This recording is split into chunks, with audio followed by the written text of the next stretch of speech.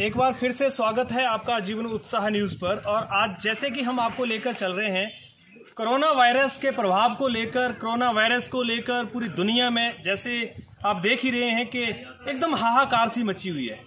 सरकारें हो, प्रशासन हो, अधिकारी हो, हर व्यक्ति ये प्रयास कर रहा है कि इस तरफ़ जो भी कदम उठाया जाए, वो सकारात्मक हो, समाज के लिए हो और समाज की भलाई के लिए हो।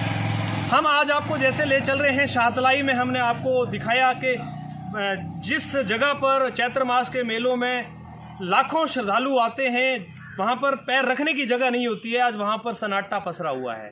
उसी तरह से अब मैं आपको लेकर चल रहा हूँ बाबा बालनाथ के मंदिर में, जहाँ पर ये नाका जो आप देख रहे हैं, ये बड़सर पुलिस के अंतर्गत यहाँ पर नाका आता है। और यहाँ से ये समझिए आखिरी नाका है मंदिर में प्रवेश करने के लिए।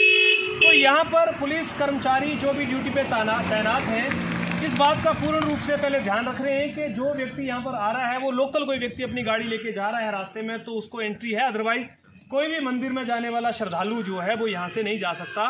क्योंकि आदेश है 144 धारा के तहत और साथ में मंदिर के जो द्वार हैं, वो सारी तरह से बंद है। मैं आपको थोड़ा यह दिखाना चाहूँगा ये जो जगह आप देख रहे हैं, यहाँ पर जब मेलों का समय होता था, मैं आपको पिछले जो न्यूज़ हमने कवर किए उनमें से भी अब मैं दिखाने का प्रयास कर रहा हूँ। यहाँ पर पैर रखने की जगह नहीं होती। यहाँ पर गाड़ी लगाने के लिए आदमी को जद्दोजहद करनी पड़ती है।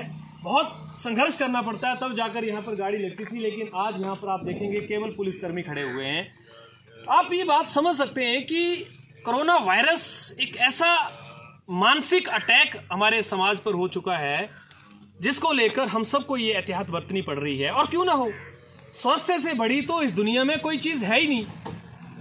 स्वस्थ इंसान अगर है तो उसके लिए भगवान भी है, उसके लिए सरकारें भी हैं, उसके लिए हर एक चीज़ है। लेकिन स्वस्थ से बड़ा, सरकारों ने भी ये बात मान ली है कि स्वस्थ से बड़ा इस धरती पर कोई भी बड़ा कार्य नहीं है। आज ये पुलिसकर्मी जो यहाँ पर ड्यूटी कर रहे हैं, पहले तो मैं इनकी ड्यूटी को बिल्कुल सलाम करना चाहूँगा कि पूरा दिन ये धूप में खड़े रहकर यहाँ पर मेहनत करते हैं। हर एक चीज़ को ध्यान में रख रहे हैं, लोगों को समझाने का भी प्रयास कर रहे हैं। अगर कोई व्यक्ति गलती से आ भी जाता है, हालाँकि पीछे ही जहाँ पर ये सीमा शुरू होती है, वहाँ पर ही श्रद्धालुओं को रोका जाता है, उनको समझाया जाता है कि आगे जो है वो मंदिर बंद है, इसलिए आप आगे ना जाएँ। लेकिन फिर भी अगर कोई व्यक्ति किसी गुप्त रास्ते से निकलता हुआ यहाँ आने का प्रयास करता है तो यहाँ पर ये अपनी ड्यूटी को लेकर मुस्तैद तरीके से खड़े हुए हैं। यानी सबकी छुट्टियाँ हैं। लेकिन इनकी छुट्टियाँ नहीं। सबके लिए ये बीमारी जो है, वो एक रिलैक्स का माध्यम है, चाहे वो कोई भी व्यक्ति है, लेकिन इनके लिए इस बीमारी में ड्यूटी और बढ़ गई है, और भी जिम्मेवारियाँ इनकी बढ़ गई हैं कि किसी तरह से ये लोगों को इकट्ठा ना होने दें। 144 धारा के तहत वैसे ही लोग इकट्ठा नहीं हो सकते हैं। और मैं दूसरी तरफ़, हमारे जो प्रशासन है, सरकारें हैं, उनको काबिल तारीफ़ ये डिसीज़न जो उन्होंने लिया है, उसके लिए बधाई देना चाहूँगा कि आपने जो निर्णय लिया है, ये सच में ही समाज के हित के लिए एक बड़ा कार्य है, क्योंकि अगर कोई व्यक्ति इस वायरस से इफेक्टेड हो जाता है या इन्फेक्टेड हो जाता है तो वो कई लोगों को नुकसान पहुँचा सकता है। और बड़ी गिनीमत की बात है कि अभी इंडिया के अंदर, हिमाचल के अंदर बहुत सारे केसेस नहीं आए हैं, लेकिन फिर भी जितने आए हैं, जितनी भी बात है, उसको लेकर भारत सरकार ने, हिमाचल सरकार ने, जिला हमीरपुर प्रशासन ने जो सराहनीय कदम उठाया है, वो बहुत ही बेहतरीन है।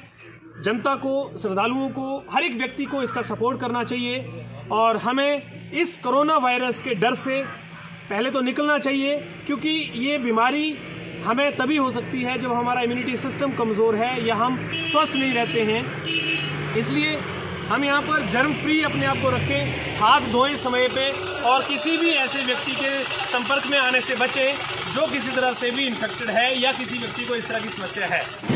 मैं आपको यहाँ पर एक और भी चीज़ दिखाना चाहूँगा जैसे कि ये बसें मेलों के टाइम में बहुत ओवरलोडेड आती थी भरी हुई आती थी और क्योंकि इनका भी समय होता था इस टाइम में इनको भी एक माध्यम था लोग आते थे लेकिन आज हालत ये है कि बसें बिल्कुल खाली हैं। यहाँ पर जो भी लोग आ रहे हैं केवल वही लोग हैं जो अपने रिश्तेदारों के पास जा रहे हैं, अपने घर में कहीं से आ रहे हैं। और आने वाले समय में इन लोगों के लिए भी जागरूकता की बात है कि आज जैसे पंजाब के अंदर सरकार ने आज बसें प्राइवेट और सरकारी दोनों को ही बंद कर दिया है चलने के लिए। तो हो सकता है कि हिमाचल प्रदेश के अंदर भी आने वाले समय में इस तरह का कोई नियम आए, क्योंकि कोरोना वायरस का कहर पूरे दुनिया के ऊपर, पूरे विश्व के ऊपर जो है वो मंडरा रहा है। और हिमाचल प्रदेश में ये सराहनीय कदम है, लेकिन फिर भी हमारे बीच में बस के चालक यहाँ पर खड़े हैं। हम इनसे ज़रूर बात करना चाहेंगे।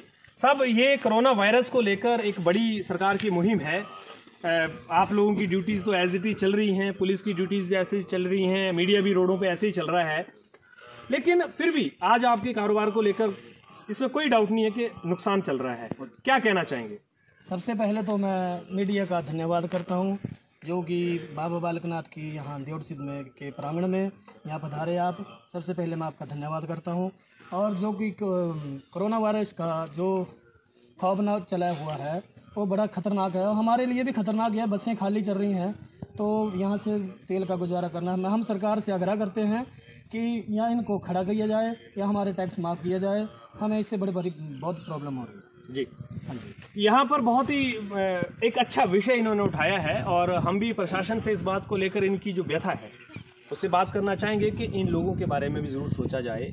क्योंकि एक व्यक्ति ने बैंक से लोन लिया हुआ है, अपने बच्चों की पढ़ाई के लिए, अपने बसों की मेंटेनेंस के लिए, बहुत सारे कार्य, बहुत सारे तोड़ जोड़ जुगाड़ करके इन्होंने चलाए होते हैं।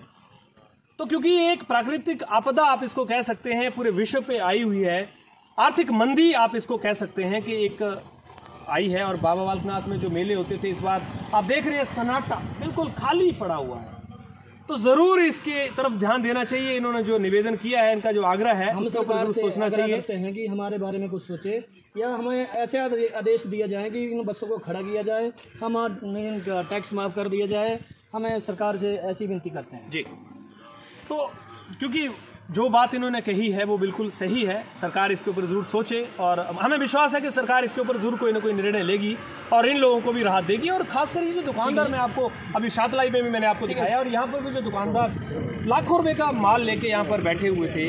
इनको क्या पता था कि कोरोना वायरस इनके बिज़नेस पे बैठ जाएगा आकर। आप बने रहिए। अभी हम आपको अगली न्यूज़ में लेकर चलेंगे बाबा बालनाथ मंदिर में और वहाँ पर दिखाएँगे कि आज वहाँ पर जो कोरोना वायरस का डर है, कहर है, वो तो किस तरह से मंदिर के प्रशासन को लेकर या जो लोग आज दुकानदार हैं यहाँ पर जिन्होंने पूरी तैयारियाँ की हुई थी, जिन्होंने बहुत मेहनत इंतज़ार किया हुआ था इन मेलों को लेकर, अपने परिवार को चलाने के लिए, जो उनको रोजी रोटी चलाने के लिए चाहिए होता है उसको लेकर। उनको भी हम आपको दिखाएँगे। बने रहिए आप हमारे साथ इसी तरह से। बहुत बहुत धन्यवाद आपका।